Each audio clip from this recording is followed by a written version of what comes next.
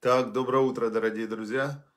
Всем доброе, добрейшее, веселейшее утро из святого города Иерусалима. И мы продолжаем изучать Тору. Тору – учение, учение свет, не учение, чуть свет на работу, как говорили некоторые люди – Хорошо, дорогие друзья, всем привет, доброе утро. Доброе утро, мы продолжаем изучать Тору, Тору, Божественную мудрость. И, значит, с вами Ицхак Пентусевич, кто меня не знает, узнает. Кто знает, всем привет. Из святого города Иерусалима. Все. В Инстаграме тоже привет. В Инстаграме, так как заходит много людей, которые со мной не знакомы, я, чтобы каждый раз не объяснять, кто я, и чтобы они никого не отвлекали, я в Инстаграме отключаю, отключаю комментарии, а в Фейсбуке есть комментарии. На странице Ваикра уже знают, кто такой Искак Пентусевич, и знают, что мы изучаем именно Тору. Тору, Тора – это божественная мудрость, это знание, это направление, это духовная структура мира, которую Бог дал через Моисея, Моше Рабейну.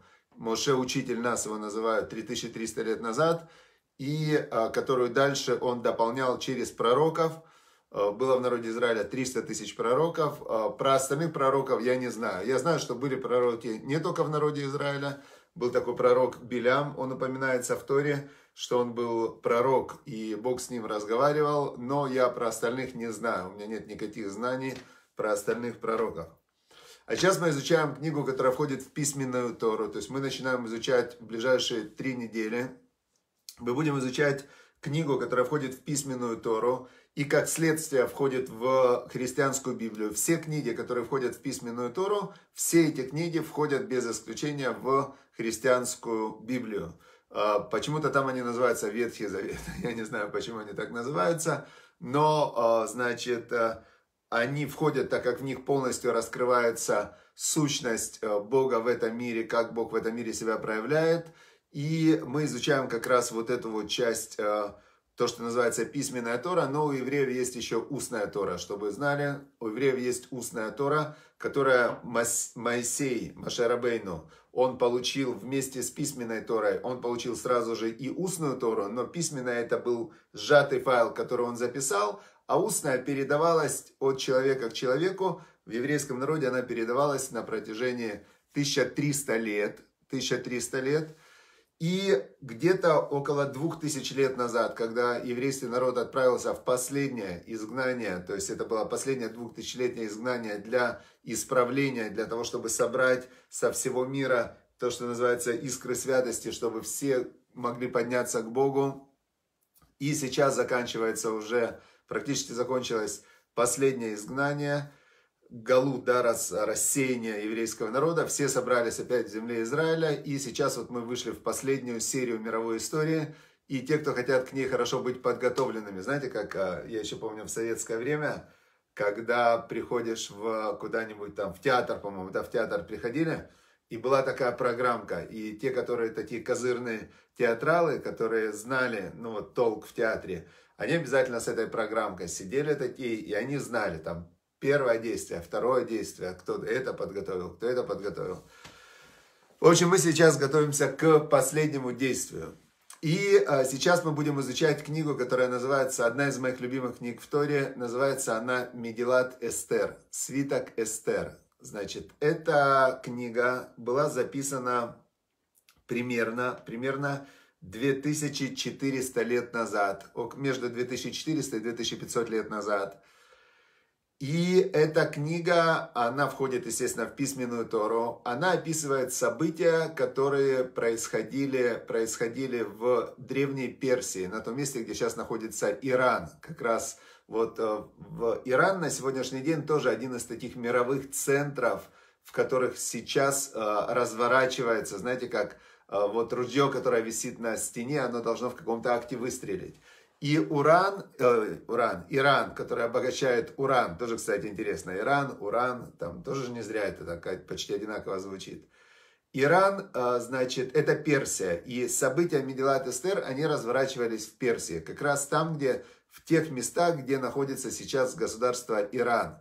И интересно, что в Иране есть могила, прямо официальная могила главных героев книги Медилат Эстер, Мордыхая и Эстер. Значит, они были оба пророки тоже, кстати, они были пророки. И мы сейчас из этой книги узнаем а, не просто историю, которая была тогда. Тора, она нам дает а, от Создателя мира, дает а, структуру мироздания. Когда устная Тора, когда есть в Талмуде, есть целый трактат, который, э, это трактат устной Торы, который разбирает все тайны, которые скрыты в Медилат Эстер, в письменной Торе. То есть Талмуд это как раскрытие глубинных тайн. И э, в Талмуде э, написано так, что мы изучаем Медилат Эстер, чтобы знать, что думали люди, участники этих событий, что происходило с ними, в реальности, значит, что они думали и что с ними происходило в реальности. И почему это происходило. То есть мы в Медиат Эстер рассматриваем три слоя. Точно так, как в жизни человека. Человек в жизни как? Он что-то себе задумывает, потом с ним что-то происходит, и он не понимает, почему это происходит, но, возможно, это происходит вот э, по каким-то скрытым причинам. То есть мы не видим же всю, э, всю как бы, всю глубину события. Мы всегда видим только маленький-маленький такой вот фрагмент. И кто изучал Каэлит с нами, мы изучали уже Каэлит, Экклезиаст книгу, там написано, что Бог дал этот мир в сердца Бнеадам, дал этот мир в сердца Бнеадам. Причем мир, слово, оно написано словом Олам. Олам без вава, то есть сокращенно, как мр.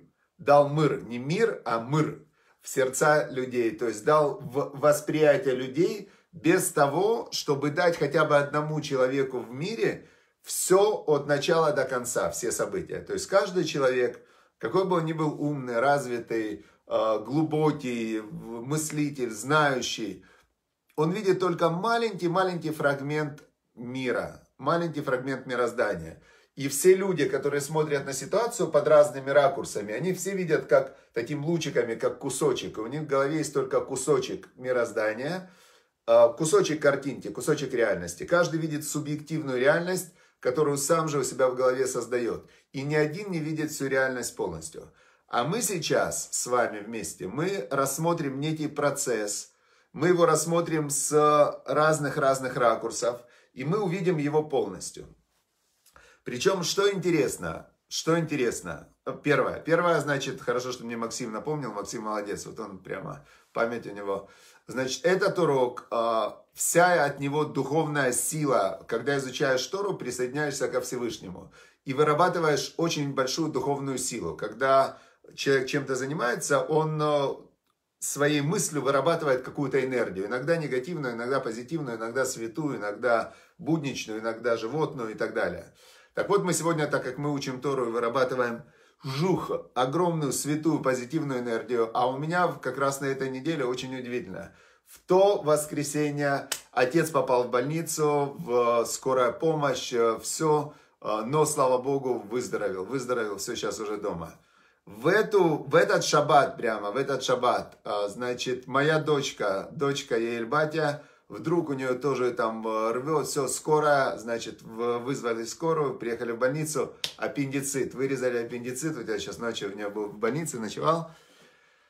Так вот, духовная сила этого урока, чтобы была Лери Шлема для полного выздоровления. Борух бен Сара, Борис сын Сары и э, Яэль Батя Бат. Когда кто-то болеет, нужно молиться за его здоровье, называя имя его, имя его мамы и э, делая что-то хорошее, доброе, святое по заповедям, для того, чтобы сила этого действия пошла на небе, на его аккаунт для его выздоровления. Чтобы было Рафа Шлема, Борух Бен Сара и Яэльбатя Бат Ривка. И среди всех больных народа Израиля, среди всех больных мира, среди всех близких э, э, людей, которые, если есть у нас у кого-то близкие, или мы сами болеем, чтобы все выздоровели. Я всем желаю полнейшего, скорейшего, безусловного выздоровления духовного и, как следствие, физического, потому что все э, корни болезни, они находятся в духовном мире. Хорошо, значит, э, это вот Максим напомнил, спасибо ему, а мы возвращаемся опять к Медилат Истер. Значит, мы узнаем э, из этой книги, из этого свитка Эстер, мы узнаем очень важные вещи. Например, мы узнаем, что это единственная книга Торы, в которой Всевышний не упоминается. Представляете? То есть единственная книга во всей Торе, где Всевышний ни одного раза не упоминается. И само слово «эстер», «эстер», оно, оно переводится как «скрытое».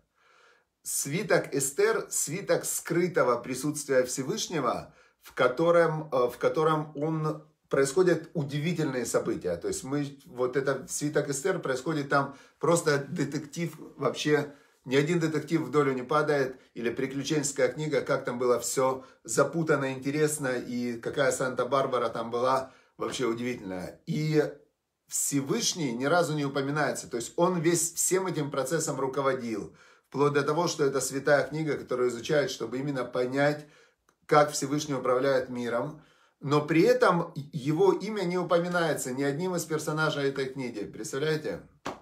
Хорошо. Начинаем мы читать, начинаем мы читать Медилат Эстер.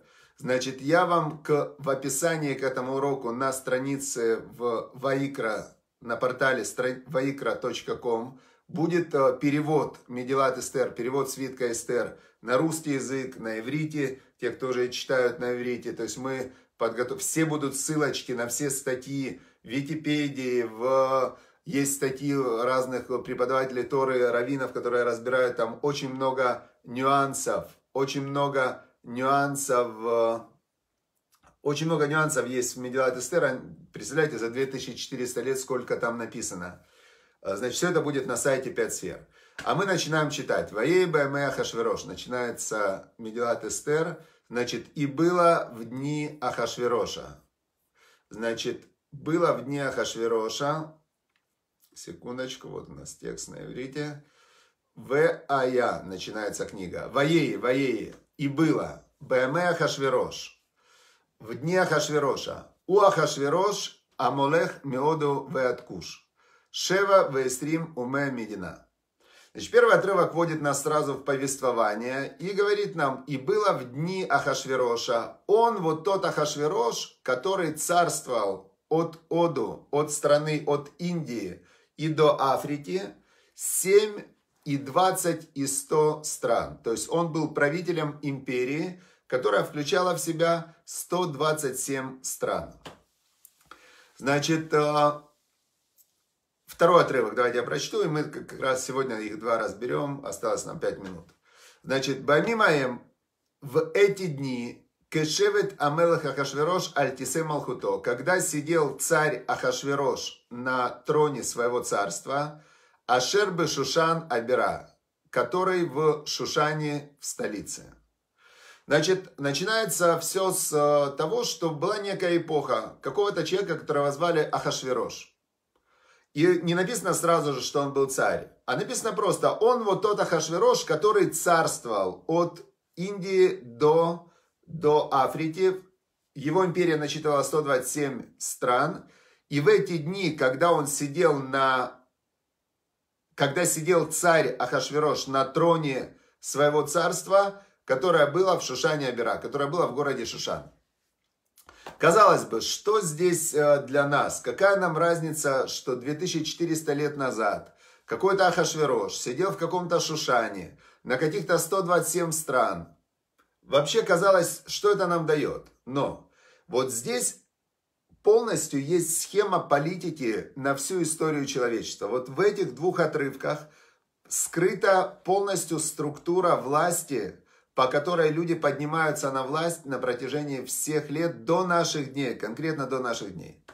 Значит, говорит нам устная Тора, что вот этот вот Ахашверош, он был простой человек, он был очень простой человек – который а, отличался от всех остальных людей только неуемными амбициями.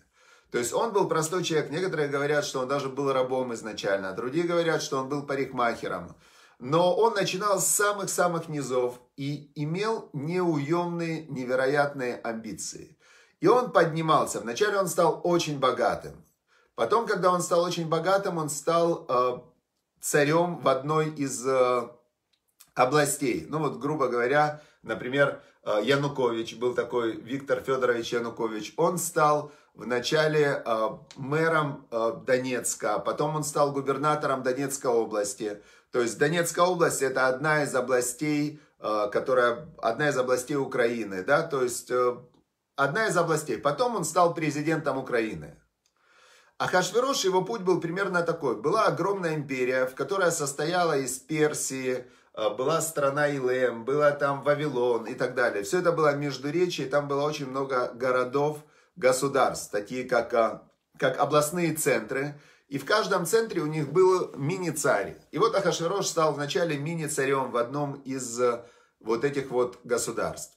Потом из-за своего богатства, из-за своих неуемных амбиций, он продолжил, э, продолжил подниматься и с помощью переворотов, обманов и так далее. Я помню, когда в 2000 году я уезжал из э, бывшего советского, Россия, уже была тогда Россия, и тогда стал президентом страны Путин. Как раз был 2000 год, стал Путин.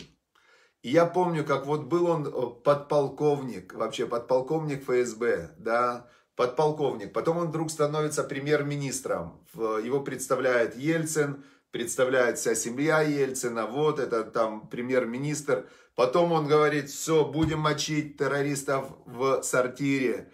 И вся страна, взрывают пару домов по стране. ФСБшники сами закладывают взрывчатку, их ловят. Они говорят, а мы тренируемся, мы тренируемся. Их ловят прямо со взрывчаткой, они закладывают в дом взрывчатку. Взрывается несколько домов, жилых домов с людьми. И он говорит, мы сейчас будем мочить террористов в сортире, начинается чеченская война, 100 тысяч там убивают людей, и, значит, оп, он становится президентом России. Я уехал тогда, в этот год я уехал, и а, Ахашверош примерно он таким образом поднялся в эти дни на, а, значит, а, на престол в городе, который назывался Шушан.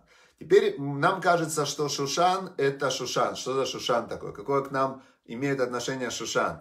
Но если вы погуглите в Википедии, окажется, что Шушан это Сузы. Как мы знаем, а, что вот есть такой город, древний город Сузы. Он был один из самых древних и больших городов на Ближнем Востоке.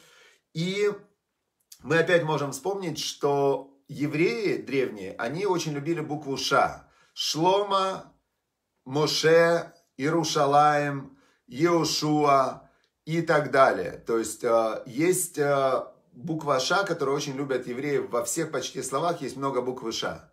Теперь, но древние греки и, наверное, другие народы, через которые к нам пришла Тора, да, то есть есть септудианты, это перевод Торы на греческий язык, там буквы Ш нет, там есть буква С. Поменяли все, все Ша поменяли на С. Моше стал Моисей, значит, э, Моше стал Моисей, потом стал э, значит, Моше Моисей, Иерушалаем стал Иерусалимом и так далее. Значит, э, Иисузы стали Шушан, вернее, Шушан, как они назывались изначально, Шушан стал Сузами. И вот это Ахашверош, он садится на этот главный престол, и у него единственная была, единственная цель у человека, который поднимается на престол царской власти, и он эту царскую власть захватывает силой, у него единственная цель после этого – это удержаться на этом престоле. То есть у него нет других целей. И вся следующая книга, вся следующая книга Медилат Эстер, Свиток Эстер, надо рассматривать с этой точки зрения, что царь Ахашверош, который из простого человека стал царем, он все делал, то есть его главное намерение в этой книге, как главное намерение любого политика, который э, захватил единоличную, неограниченную власть, его главное намерение – это удержаться у власти. И вот он сидел, а, значит, в этой столице Шушане. Значит, что сделал он? Он, а, а, раньше цари сидели, был Вавилон. Давайте сейчас чуть уйдем в историю. Значит, история такая. Мы только что закончили изучать книгу Мишлей, притчи царя Соломона. Значит, царь Соломон построил первый Иерусалимский храм. Было это 2900 лет назад, плюс-минус, там, может быть, разница плюс-минус 50 лет, я просто округляю цифры. Значит, 2900 лет назад царь Соломон построил первый Иерусалимский храм. Он был сыном царя Давида, и он был царем над всем Израилем. То есть над всем Израилем, над всеми 12 коленами он был царем. Теперь его сын, которого звали Рехавам, он хотел тоже быть царем над всеми 12 коленами. Но пришли 10 колен, э, которые, 10 колен, которых возглавлял представитель колена, колена Ефраима, да, Яровам его звали, и сказали, что мы хотим отделиться. Мы не хотим или снизь нам налоги, или сделай нам жизнь, чтобы мы не платили большие налоги, то есть освободи нас, более-менее, или мы просто уйдем.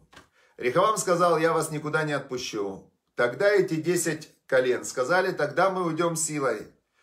Царь Рехавам, царь, сын царя Шломо, он сказал, ладно, я воевать не хочу, не хочу воевать. И осталась страна, которая называлась Иудея, Иуда, со столицей в Иерусалиме. И там осталось только два колена. Это была очень бедная страна, в которой не было никаких таких больших богатств. И десять колен, которые отделились, они образовали государство, которое называлось Израиль. Израиль это было богатое государство и царь Яровам, который не хотел, чтобы народ шел в Иерусалим служить Богу на, на праздники. Он боялся, что сейчас народ придет в Иерусалим, в Иерусалимский храм, вспомнят опять про Бога, вспомнят, что Бог обещал и поклялся, что будет царь только из рода царя Давида. И народ, значит, скажет ему, слушай, знаешь, что Яровам, извини, мы решили опять объединиться. На что Яровам сказал, что нет, запрещено идти в Иерусалим. Поставил двух идолов в Дане и Бершеве. Каких идолов он поставил? Золотой телец. Он поставил золотых тельцов в Дане и в Бершеве и сказал народу, все, вот божества ваши, служим золотому идолу, и, значит, поставил священников и перекрыл границу, сказал, что Иудея враги, значит, Израиль это Израиль. И, значит, как сейчас происходит, когда пытаются разделить религиозное население в Израиле и нерелигиозное или малорелигиозное. Я считаю, что не бывает совсем нерелигиозных людей. Бывают люди, которые э, верят в Бога, но они меньше соблюдают заповеди, они не знают, как служить Богу. И они себя называют нерелигиозными, малорелигиозными. Есть очень сильно религиозные, есть среднерелигиозные, малорелигиозные и так далее. То есть все в зависимости от степени соблюдения заповедей. И есть маленький процент атеистов, это люди ну, с помутненным разумом, с помутненным разумом, у которых они верят в то, что они произошли от обезьяны. То есть у них такая вера, своя вера у них. Атеисты это такая маленькая секта, которые, которые сектанты, которые верят, что они произошли от улитки, от, есть атеисты, которые верят, что они произошли от инопланетян, от гуманоидов. И, ну, сектанты такие, да, они странные люди. Значит, э, разделилось это государство и прошло, всего лишь прошло, значит, э, после того, как они разделились до разрушения, до разрушения первого храма прошло где-то меньше, чем 400 лет, 380-390 лет. И а, теперь получается такая вещь, что Вавилонский царь, которого звали Навуходнецар, он пришел со своей армией и разрушил первый Иерусалимский храм. Почему? Потому что уже как бы Бог сказал, что посмотрите, вы же не служите мне нормально. То есть храм это было место, это как дом Бога. Он сказал, что же вы творите-то, да? Ну, сказал образно, он не сказал, хотя он говорил через пророков, он много раз говорил через пророков о том, что надо, надо быть более духовными, больше служить Богу, больше соблюдать заповеди. Люди не слышали, тогда пришел Навуходнецар, разрушил первый Иерусалимский храм и евреев переселил в Вавилон. То есть в этот момент на 70 лет, когда начинается книга Медилат Эстер, нужно понимать, что в момент, когда царь Ахашверош сел на престол вот этих 127 государств, это была империя, в этот момент евреи находились уже в... Это не было рабство, это было вавилонское изгнание. Они были в изгнании уже 70 лет. 70 лет они были, Израиль был разрушен, храм был разрушен, там была пустыня в Израиле, то есть люди не жили. А в Вавилоне была самая большая еврейская община, как сейчас евреев очень много в Америке, и они занимают там очень высокое положение. Точно так же в те годы евреи занимали огромное высокое положение в империи, которую, э, которую возглавил Ахашверош. И с этого начинается событие Медилат Эстер. Значит, мы продолжим изучать Медилат Эстер завтра. С Божьей помощью с 10 утра до 10.20 у нас будет урок и мы узнаем, что было дальше. Все, давайте сделаем выводы. Значит, может любой человек, мы видим это из э, современной истории, мы видим, как на сегодня эта схема Ахашвероша, она работает. Янукович был президент Украины, Трамп, э, неуемные амбиции, простой человек, стал, значит, э, президентом США и так далее. То есть мы видим, что в наше время это тоже Лукашенко, например, да, стал э, таким неограниченным правителем в Беларуси, эта схема работает. Был Ахашверош, а стал царь Ахашверош. И вот мы узнаем, что было дальше с царем Ахашверошем, как дальше разворачивались события. Все, всем удачи и успехов. До завтра. Встречаемся с 10 до 10.20 завтра утром. Значит, перейдите на портал Ваикра, и будут там все материалы. Советую прочитать книгу, потому что мы будем ее не читать, мы будем вглубь заходить. То есть сейчас нам главное не а, внешняя канва, а именно то, те законы, которые нам Всевышний раскрывает в свитке Эстер. Все, удачи, успехов, всем хорошего дня. Пока, чтобы было рифа шлема, чтобы было полное выздоровление всем больным, близким, далеким, всем людям, которые сейчас болеют, чтобы им было полное выздоровление. Пока.